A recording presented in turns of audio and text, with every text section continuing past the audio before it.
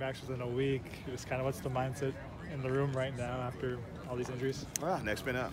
You know, uh, it's unfortunate. I don't know that I've ever experienced it before in my life, but uh, um, you know, like I've said all year, these guys have had a, a great attitude uh, in that room, and everybody was there today and, and, getting the next guys up ready to play.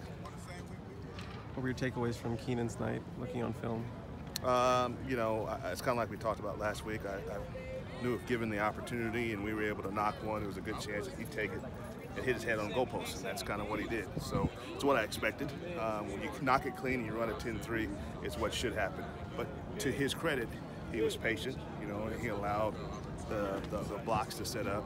Um, and uh, he was ready for his moment, so we're proud of him and happy for him. Overall, this stage of his development, what are the big areas where he still has to improve and work on and able to handle a larger role? Well, uh, he just got to get reps, got to get touches. You got to put on that grown man weight, you know. And uh, uh, you know, if he had to go play a 12-game season, you know, it, would be kind of tough. Just being honest with you, it's just where he is from a physical standpoint. You know, five, six, eight games, whatever it might be, until we get some of those guys back, um, he'll be able to handle it. Clay said that as soon as he hit the line of scrimmage on that first touchdown run, he yelled out touchdown. Yeah, I mean, he's, he's shown it here. Yeah. He's shown it here, guys. That's 10-3 is elite. You know, I've been around some 10-5s, some 10-6s. 10-3 can go. You know, so if, if, you know, where we may lose some things on, on in some short yardage situations, uh, um, you know, you gain. Uh, and some of those plays that have been 20, 25 yard plays, you know, he's going to eat up some angles, and they're going to be some explosive plays. So uh, you got to take the good with the bad. Uh, again, my heart hurts for those guys because they worked their tail off. Um, and we, we've got to move on, and I know that's what they expect of us as well. How much do you think you can give Kenan this week? I don't know. We'll give him all he can handle. You know, I mean, you got to remember, you know, uh, uh, really hated it for Quincy because Quincy does everything right. He went in there and put the ball on the ground in the first play. Uh, haven't given up on that young man at all. Uh, you will see 27 out there uh, come Saturday, um, you know, and those guys will roll as long as they can. Is Kenan the fastest back that you coached? Is he the he, he probably is Justin Stockton, who I had at Tech and I think was with Seattle for a little while, was another 10-4 kid, and they they're, they're similar. They're, they're, they're very similar. So uh, um, we've kind of got an idea uh, how to use him. Uh, he kind of fits some of the stuff that we do from a schematic standpoint. Um, you know, there'll be some subtle changes, but there won't be anything that you're able to notice. The same play that he hit was the same power one back power play that we run with 30 and 29-7 all year long. For him, is it just a matter of experience, kind of rounding into form? For 23? Yeah, in order to be able to use that speed and all that raw ability. Yeah, a little bit. I mean, it, it's a lot that factors into that. You know, I mean, it's not only is it IDing the protection, okay, but at 179, 181 pounds, going and blocking at 235 run backer running through, that that that could that could be asking a lot, sure. especially when you're sitting with having you know, two, three quarterbacks available. One missed block, you know what I mean? Mm-hmm. Or, or, one one time that the linebacker takes him and sits him in the quarterback's lap. That's a problem. so, but that's okay.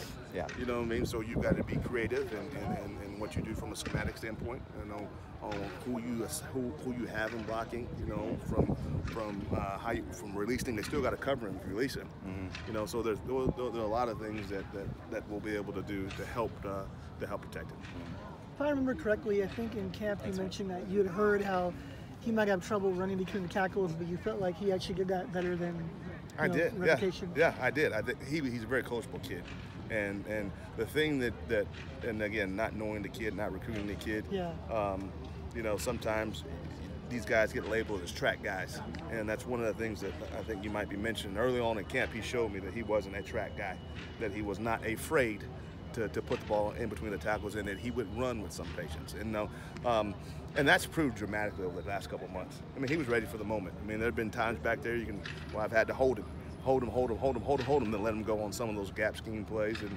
and I couldn't be prouder of him. You wish you all that you played him any earlier in the year? No, everything worked out the way it was supposed to be. He played when he was ready to play. And to be honest with you, not that it's anybody's business, but he was about the Arizona game from three months ago was about the time we were going to get that kid in the ball game. And really what we wanted to do, the only thing that could be unfortunate about this situation, depending on how long the rest of these guys are out, um, you know, it could eat up a red shirt. You know, and yeah. that we really didn't want to do that because we have guys that that that are they're pretty productive. What's the mindset about wanting to save the red shirt on a skilled player as opposed to? Hey, the mindset number one, is you got to win games. Then you got to do what it takes to win games. And, and um, in my opinion, the three guys that were playing football are, are darn good football players. And you're not pulling any one of those guys off the football field. You know, and you're going to take that kid and you're going to let him develop. Uh, and you're going to try to get him touches, um, kind of like we got him last night. You know, in, in four games, and he's and, and, and you know he it, it's invaluable moving on to next season.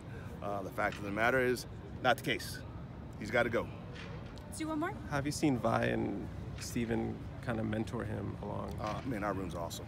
I mean, and that's one of the reasons why I think that everyone that's had the opportunity to go up and take a bigger role, whether it was by starting for the very first time, you know, Steve, Stephen Hanlon coming off the bench and, and, and being a role player, uh, Keith stepping up and having those guys have mentored each other, and everybody that's had the opportunity is coming in and excelled. Um, I think Quincy will do that again. It was unfortunate that he fumbled on, on the first play, and, and Double D uh, can get it done too. So uh, uh, while uh, I, it was a little bit of a long night, not sleepless night, you know, we, we've still got some guys that can get it done. Thank you, Coach. Thank you.